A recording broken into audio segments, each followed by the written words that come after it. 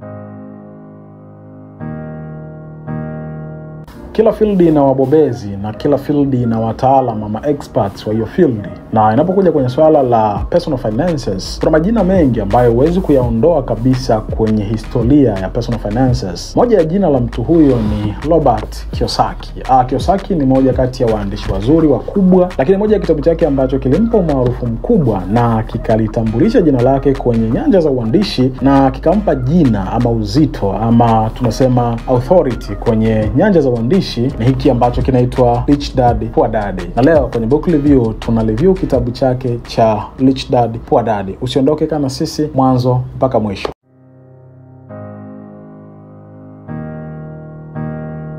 Okay, title. Uh, title ya kitabu hiki kama ambavyo inaonekana ni Rich Dad Poor Dad, kimeandikwa na Robert Kiyosaki. Uh, kitabu hiki kimekuwa published kwa mara ya kwanza mwaka 1997, kina miaka 26 mpaka ambapo sauti hii unaisikia ni 2023, lakini uh, kimeuzwa nakala zaidi ya milioni uh, 40. Hizo ni takwimu ama statistics za mwaka 2021 mwezi Septemba, na kimeuzwa kwenye nchi zaidi ya mia moja na tisa duniani na kikiwa kimetafsiriwa kwenye nchi zaidi ya hamsini na moja. Uh, kuhusu kitabu uh, kitabu hichi kama ambavyo kinaonekana hapa Rich Dad Poor Dad ni kitabu ambacho kinamhusu Robert Kiyosaki mwenyewe. Anajaribu kutoa experience ama uh, uzoefu wa maisha yake kwamba alilelewa na baba wa aina mbili, ambaye uh, kuna baba yake ambaye alikuwa amesoma elimu ya darasani, lakini alikuwa ana mafanikio ya kiuchumi na alikuwa akistruggle kwenye masuala ya kifedha, ambaye ndiye poor dad. Lakini pia alikuwa na baba wa rafiki yake ambaye alikuwa ni mjasiriamali, lakini pia alikuwa tajiri, ndo ambaye anaitwa Rich Dad. Kwa hiyo uh, pata experience ama exposure ya kuelewa na baba wote wawili ilimfanya Robert Kiyosaki asikie kuhusu mitazamo ya kifedha, kuhusu mitazamo ya uwekezaji, kuhusu mitazamo tofauti tofauti, kuhusu uh, jinsi ambavyo mtu anaweza akatengeneza utajiri ama ka build wealth kutoka kwa baba, baba zote wawili, baba yake mzazi ambaye alikuwa akistruggle na masuala ya hela ama poor dad, lakini pia uh, baba wa rafiki yake ambaye ndiye Rich Dad. Baadaye Robert Kiyosaki anakuja kufanya maamuzi ya kumsikiliza zaidi baba wa rafiki yake ambaye ndiye Rich Dad, na kwa mujibu wa maelezo yake kwamba maamuzi yale ndiyo ambayo yalibadilisha kabisa hatima yake ya maisha uh, ya kiuchumi mpaka leo hivi ambavyo tunamfahamu kama moja ya manguli kwenye swala la uandishi, lakini pia kwenye swala la uh, personal development na specific kwenye masuala ya finances So kwa ufupi, hicho ndicho kitabu jinsi kilivyo.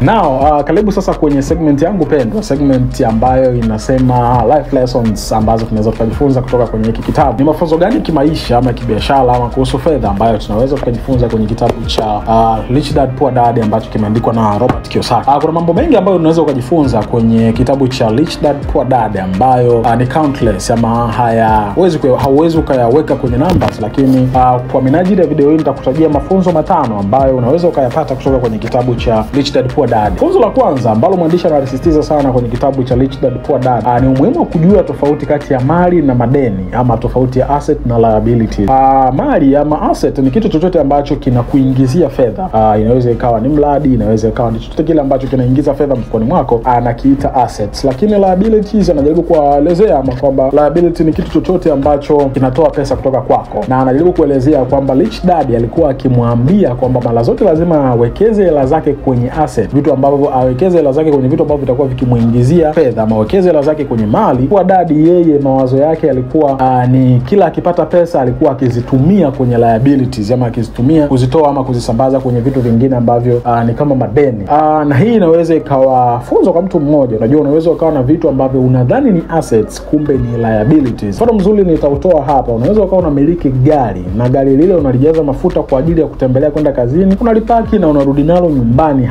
halikuingizia hela yoyote isipokuwa wewe ndo unayetoa hela za mafuta na una reservice kila baada ya muda. Sasa ukimuuliza mtu utaje asset ulizonazo, nayo utajie aina hiyo ya gari, lakini uhalisia aina hiyo ya gari sio asset, hiyo ni liability, kwa sababu inatoa pesa na haiingizi pesa. Kwa kitu cha kwanza ambacho unaweza ukajifunza kama soma kwenye kitabu cha Rich Dad Poor Dad ni kwamba lazima ujue tofauti ya assets na liabilities, na lazima uwekeze hela zako kwenye kununua zaidi ama kuwekeza zaidi kwenye asset, kwenye mali na sio kwenye liabilities, kwenye vitu ambavyo vinakuchukulia kuzingatia fedha. Somo la pili la kimaisha ambalo unaweza ukajifunza kwenye kitabu cha Rich Dad uh, Poor Dad ambacho kimeandikwa na Robert Kiyosaki mwaka 1997 ni umuhimu wa elimu ya fedha. Uh, ukweli ni kwamba tuna wasomi wengi ambao wanateseka inapokuja kwenye swala la fedha kwa sababu tu walisoma vitu vyote shuleni kasoro elimu kuhusu fedha. Tuna wataalamu wengi ambao wakati mwingine wanateseka hata baada ya kumaliza kazi na kustaafu kwa sababu chochote ambacho walifundishwa wakati wao wakiwa shuleni na maisha yao yote ya kazini ilikuwa ni vitu vingine vyote kasolo fedha. anataka nataka nikwambie ukweli ni kwamba kama utajua mambo yote lakini usipojua kuhusu fedha kwenye maisha utateseka. Kiyosaki anajaribu kutuonyesha kwamba baba zake wote wawili Rich Dad na Poor Dad wote walikuwa wakiamini kwenye elimu, lakini wakati Poor Dad alikuwa akiamini kwenye kusoma sana, uh, kupata grade nzuri ama kufaulu mtihani na kwenda kuajiliwa kufanya kazi kwa mtu fulani, ama akiwa amefocus kwenye tunasema professional education ama scholastic education. Baba yake tajiri ama the Rich Dad alikuwa yamefocus kwenye elimu ya namna ya kuzalisha fedha, ya kumanage fedha, namna ya kuzitumia fedha na namna ya kuwekeza fedha. Na kama ambavyo unaona utofauti wao wa maeneo ya kutaka kuwekeza kwenye elimu yalisababisha mmoja afe maskini, wakati mwingine afe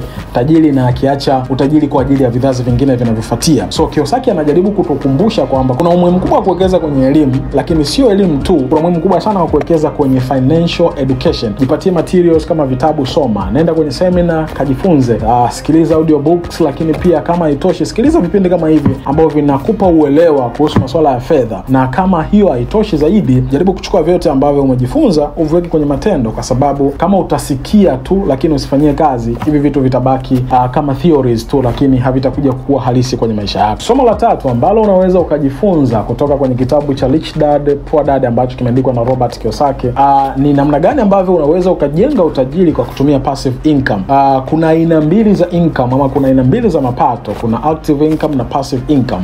Active income ni aina ya mapato ambayo unauza muda wako kwa ajili ya kupata fedha. Ni aina ya mapato ambayo lazima uwepo eneo fulani, ufanye kazi ndani ya muda fulani, ndipo ulipwe. Takutolea mfano, ukiajiriwa kwenye formal jobs au umeajiriwa kwenye ajira rasmi, mfano ni daktari, mfano ni mwalimu mahali, uh, mfano uh, ni injinia mahali, ili ulipwe kiwango fulani cha mshahara mwisho wa mwezi, lazima ufanye kazi masaa fulani, labda kuanzia saa mbili hadi saa tisa kila uh, kila siku ndani ya siku 30 za mwezi ama ndani ya siku 28 za mwezi husika, inategemeana na huo mwezi una siku ngapi. Kwa hiyo aina hiyo ya kipato ama aina hiyo ya mapato ndo ambayo inaitwa active income.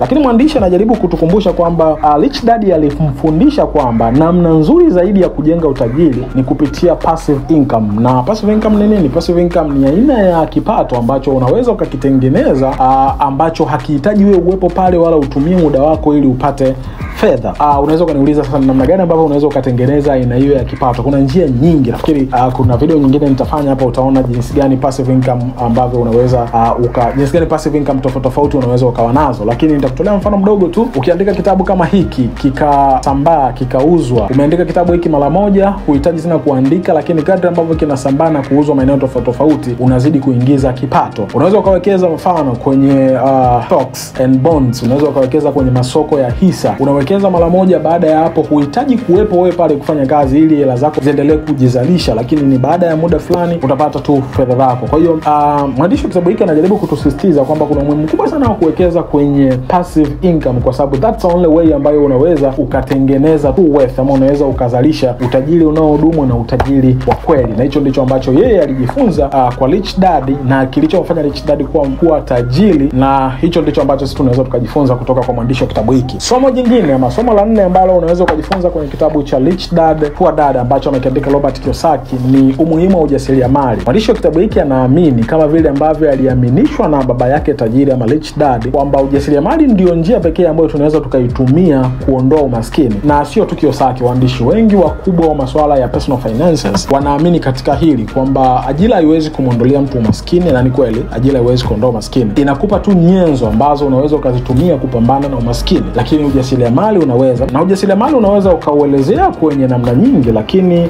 namna yangu rahisi ambayo nimekuwa nikiitumia kuelezea ujasiriamali ni kwamba ujasiriamali ni mtu yeyote yule ambaye anaamua kutatua tatizo fulani kwa kutoa suluhisho lake na kuliuza hilo suluhisho. Kwa hiyo mwandishi anajaribu kutusisitiza kwamba kuna umuhimu mkubwa sana watu kuingia kwenye ujasiriamali, uh, kuachana na ule mtazamo wa kutegemea mshahara peke yake, kuachana na ule mtazamo wa kutegemea kwamba mshahara peke yake unaweza ukasababisha matokeo makubwa ama uh, great financial shift kwenye maisha yao. Somo la tano na la mwisho uh, kwenye segment hii ya uh, mafunzo ya muhimu ambayo unaweza ukajifunza kwenye kitabu cha uh, Rich Dad Poor Dad ambacho kimeandikwa na Robert Kiyosaki ni namna ya kushinda hofu na kufeli kwenye maisha, how to overcome fear and failure. Uh, tofauti ambayo mwandishi anasema alijifunza kwa Rich Dad na Poor Dad ilikuwa ni kwamba baba yake ambaye alikuwa ni masikini alikuwa akiona fears lakini failure kama stumbling block, kama vitu ambavyo vinamzuia yeye kuendelea mbele. Wakati huo huo baba yake tajiri alikuwa akiona fear na failure kama motivators, vitu ambavyo vinammotivate kuendelea kufanya kazi zaidi. Pale ambapo anajikuta amefeli, anajua kwamba kuna namna ambayo anatakiwa ajiboreshe, kuna namna inabidi afanye zaidi ili afike kule anakoenda. Lakini pia pale ambapo anakuwa anakumbana na hofu, amekuwa baba yake tajiri amekuwa akifanya, anasema do it even when you are afraid, unafanya hata kama ukiwa unaogopa. Uh, mwandishi anatukumbusha kwamba hiyo ndo tofauti kubwa pengine kati ya masikini na matajiri anapozungumza kwamba maskini wengi wanabaki kuwa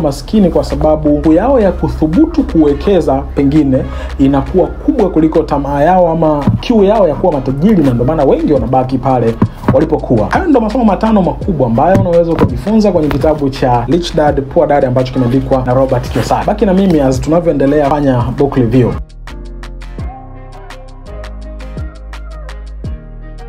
Okay, karibu tuendelee sasa. Uh, tunaingia segment nyingine ambayo ninaipenda pia, inaitwa my favorite citation and quotes from the book uh, ama nukuu yangu pendwa kutoka kwenye kitabu. Sasa nina nukuu nyingi pendwa kutoka kwenye kitabu cha Robert Kiyosaki, lakini uh, page number 8 ama kurasa namba 8 anajaribu kuelezea, anasema there is a difference between being poor and being broke. Broke is temporary, poor is eternal. Anasema kwamba kuna tofauti ya kuwa masikini na kupungukiwa. Kupungukiwa ni kwa muda, lakini umaskini ni wa milele. Uh, nimependa hichi kitu kwa sababu mwandishi anajaribu kutufanyia kitu inaitwa mindset shift, kutuondoa kwenye ma mentality ama kutuondoa kwenye akili ama ufahamu wa kimaskini. Uh, ukikutana na watu wengi, moja ya kitu ambacho hawaoni aibu kukili kwamba wao ni maskini. No, sio maskini, umepungukiwa kwa sasa, but you're not poor, you're just broke, you're not poor. So nilipenda hichi kitu kwamba inawezekana wewe mpaka sasa hivi huna kitu ambacho unaweza ukakionyesha kwa watu wengine, kuonyesha kwamba umefanikiwa ama una kitu fulani, you have something ambacho unaweza ukasimama mbele za watu ukasema you have make it in life, uh, lakini you are just broke.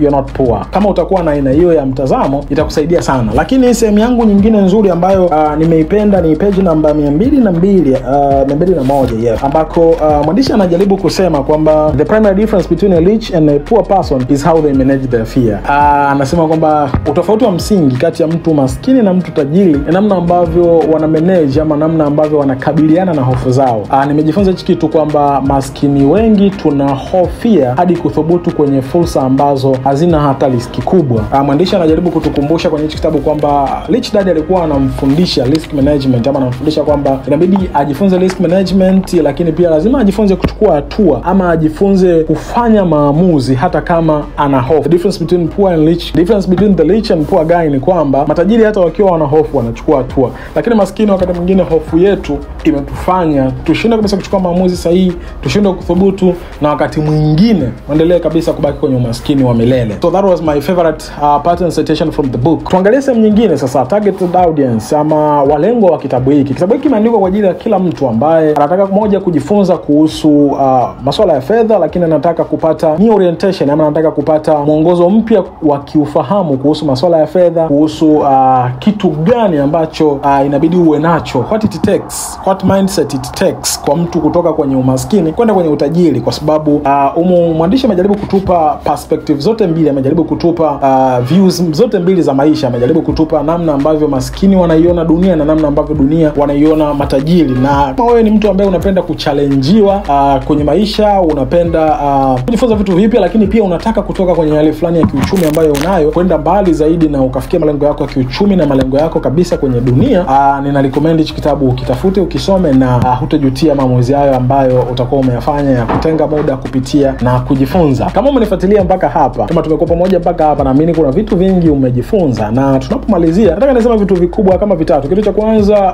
um, eneo gani unaweza ukapata ukapata kitabu hiki. Kitabu hiki unaweza ukipata kwenye bookstore yoyote ambayo iko jirani na wewe. Uh, kuna bookstore nyingi inategemeana na unapatikana eneo gani, lakini unaweza ukakipata online uh, kwenye Amazon ama kwenye platform tofauti tofauti ama majukwaa tofauti tofauti ya mitandao unaweza ukakipata. Na mara ya mwisho nimeangalia Amazon kilikuwa kinauzwa kati ya dola 8 mpaka dola kumi shilingi elfu ishirini mpaka shilingi elfu ishirini na nne Unaweza ukajipatia nakala yako ukasoma, lakini pia kama hauwezi kukipata online na hauwezi kupata kwenye bookstore yoyote, unaweza ukanikomentia hapo chini kwamba unakihitaji. Mimi nitahakikisha ninakurudia na nihakikisha unakipata kitabu hiki, unajisomea na unajifunza kuhusu masuala ya fedha, na hatima yako ya masuala ya kifedha inabadilika kabisa. Na kama kuna kitu cha msingi umejifunza, basi naomba unisaidie vitu viwili. Kitu cha kwanza unaweza ukanisaidia uh, ni kulike video hii, kucomment, kushare na mtu mwingine, lakini pia kama bado hujasubscribe kwenye YouTube channel yangu na haujatufollow kwenye mitandao mingine ya kijamii, unaweza ukafanya hivyo mara moja, ili usipitwe na aina hii ya maudhui na usipitwe na our daily inspirational content ambazo tunazipost kwenye mitandao yetu ya kijamii kila siku uh, inayoitwa leo. Mimi ninaamini umejifunza and see you on the next week. Before sijaondoka, ninakumbuka hapa pia, kama una wish tufanye review ya kitabu fulani, unaweza pia ukatuandikia kwenye comments kitabu gani unatamani tukifanyia review kwenye book review segment, na sisi tutosita, mimi na timu yangu tutafanya na utaki, na utapata review ya kitabu hicho hapa hapa kwenye platform hii. So see you on the next video, see you on the next week kwenye segment ya book review, lakini see you on Monday na siku ya Jumatano ambako kutakuwa na video zingine hapa hapa kwenye platform hii. So that's all for today. Thank you for watching. See you on another book review segment. This is Mogala JR.